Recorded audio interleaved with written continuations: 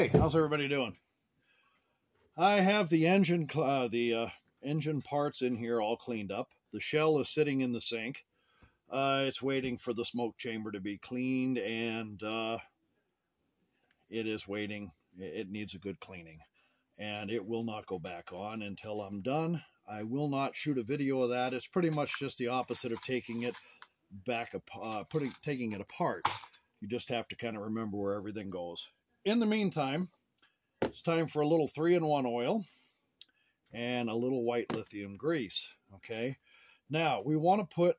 Let me uh, get a toothpick here. It might be a little easier than my big fat hand in the way.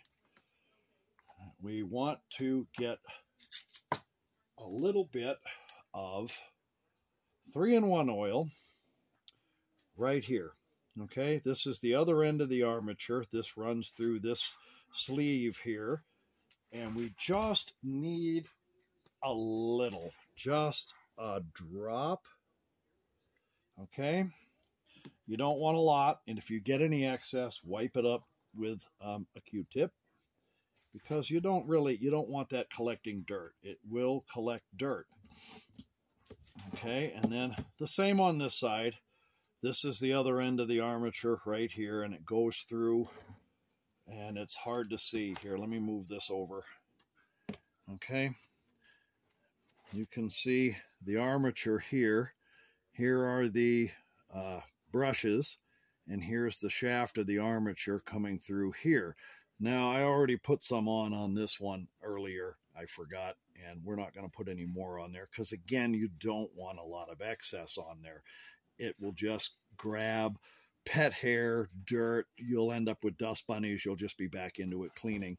Uh, you can also see I put a little piece of black tape here because this was being pinched in between. You can see where my toothpick is. It was behind that, and that's really not good. If it uh, uh, over time, it was already beginning to eat the covering of the wire, and these are just cloth covered wires. They're not really, again, 1950s. And so you just, it would have eaten through and it would have caused shorts and caused problems, and that would have just not been, you know, pleasant. Your engine could catch on fire and uh, I don't know what this is on the smoke chamber, but it keeps coming off. And then we want to put, and I've already done this a little bit, I kind of forgot. You want a little bit of white lithium grease on these gears here. A little bit, not a lot. Again, a little goes a long way. You just want a little. Um, you don't want a bunch here. You just want to kind of dab it on there a little bit and then rotate the, the wheels to let it spread. And the same on this side here with these. You can see I put some on there already. I, uh, I shot an entire video already and realized after I went back to look at it, my hand was in the way the whole time. You couldn't see. So most of that I've already done. Now, okay, it's done. I need to get the grease off my hands. Honestly, if you don't like the smell of grease uh, or the feel of it on your hands, you know, you're going to get greasy. Uh, old grease, new grease. Um, I, I still have the water slide decals to put on this. I've washed it. It needs to get a bath in uh, acid, uh, isopropyl alcohol, but not when I have this much oil on my hands. It, this will get done much later and I have the decals and everything. So in the meantime, let's put this on here.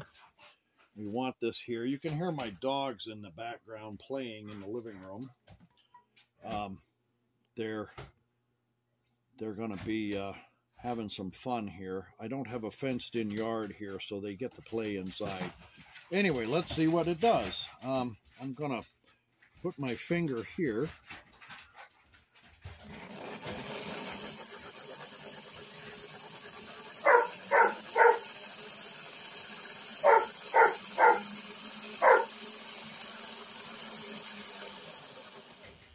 Okay, and then we uh, stop it, and then it goes in reverse, or that's actually forward. The other way was reverse.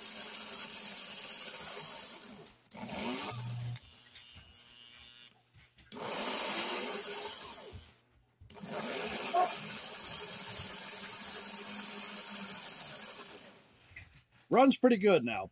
I put it on the larger transformer today because I think uh, this is 75 watts and this is, hang on one second and I'll tell you because I have it. This is a 190 watt transformer. Um, when I put this on this transformer the other day, it was sluggish, and I think it's because it's the difference in the wattage 190 versus 75. Um, this one is still sluggish on this. I put it on there earlier to check, and if I leave the weight of the locomotive on it, it doesn't want to go that fast. If I lift it just a slightly, then it goes really well. So I will be taking this one apart next. Um, probably not today.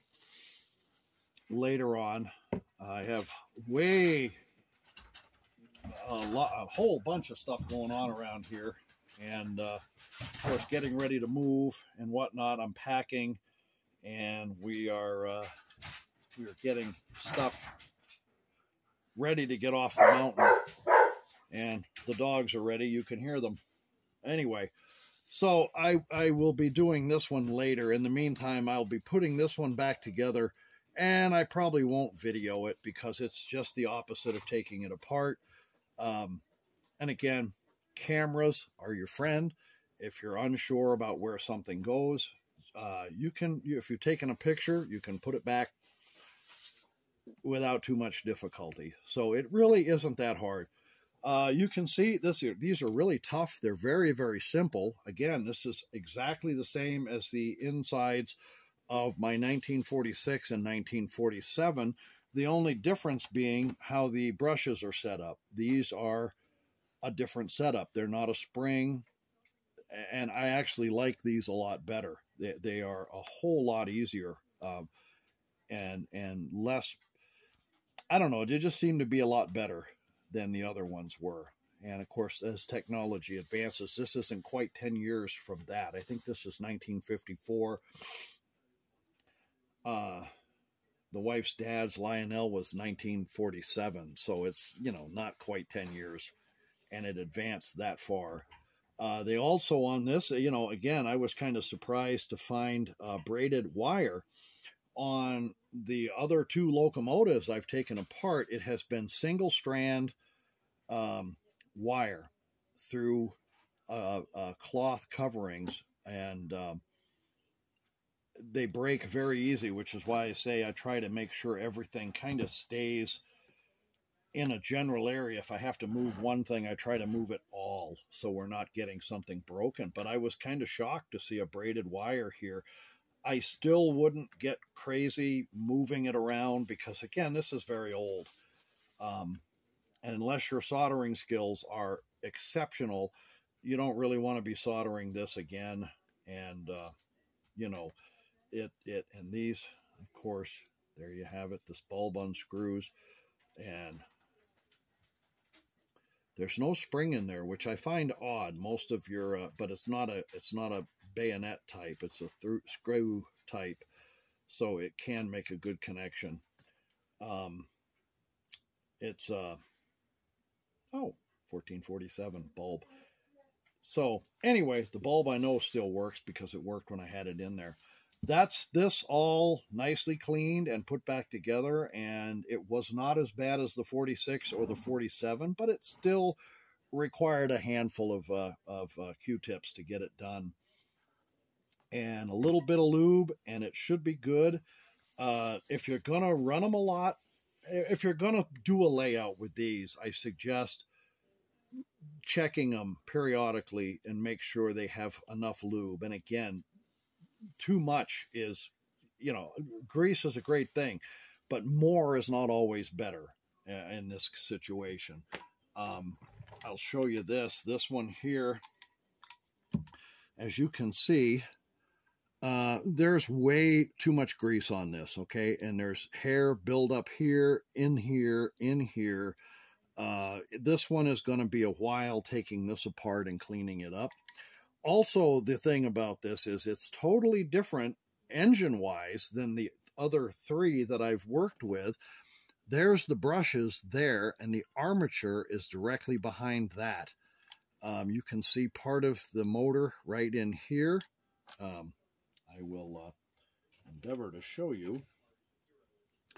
This is part of the motor right here. The armature is in the center, and uh, it it's a different setup than the other one. So this one's going to be a bit unique. It's going to be interesting for me to take this one apart.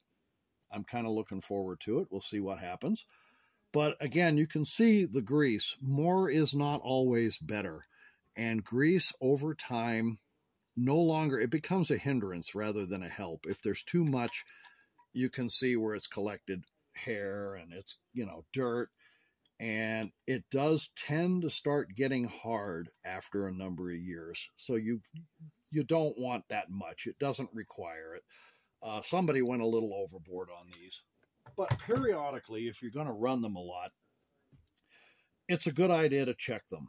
Um, three in one sewing machine oil. Uh, I, I, remember my mother had this for her sewing machine, and I think, as a matter of fact, there was I still a bottle of it left last time I uh, I saw her sewing machine. Um, this is great stuff. It works on a lot of things, and it won't harm the electrical stuff in here at all, as with white lithium grease. And you can see my uh, my shop cat here. She uh, came in to say hi. She's checking out my work to make sure I've done it correctly. Does it meet your approval? Okay. Anyway, I hope you enjoyed the video and and the cat.